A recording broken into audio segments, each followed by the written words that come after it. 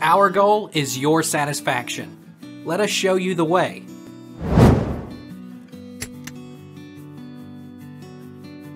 Can baking soda and vinegar damage plumbing?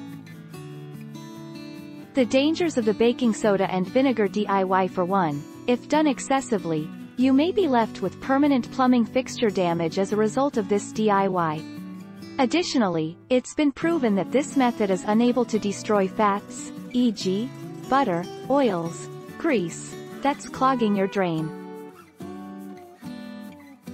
What vinegar unclogs drains?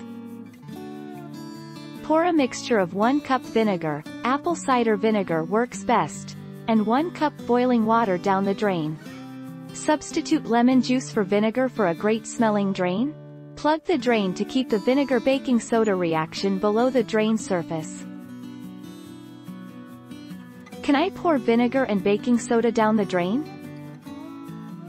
A completely clogged drain will require the help of a professional plumber, but baking soda and vinegar might be a quick fix for a partially clogged drain.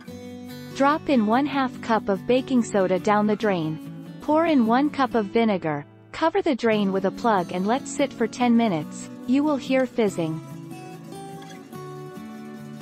Is Drano better than baking soda and vinegar?